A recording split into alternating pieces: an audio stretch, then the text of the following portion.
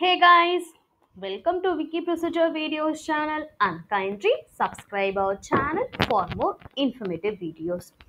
So, in this video, we are going to see how to apply for soil health card in Jharkhand.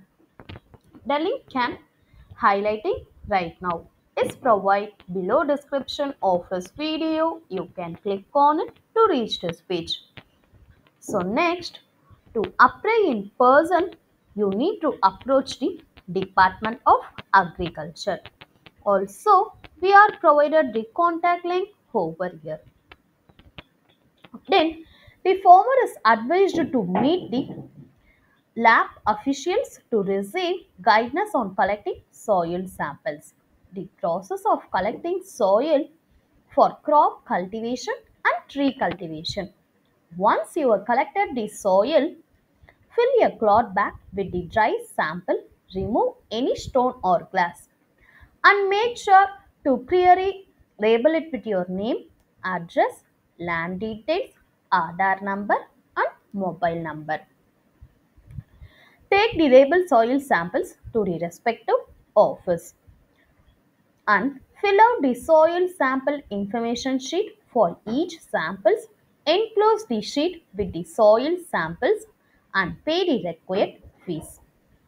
The RAP authorities will take note of the submitted samples and record the details. The applicant will receive the RAP receipt for the submission of samples. The sample will be proceed further. Once the reports are ready, a soil health card will be generated. Finally, the farmer will receive the card according to applicable norms. And in below section, we are provided the fee section. Each sample cost rupees 20 as per the authority's norms.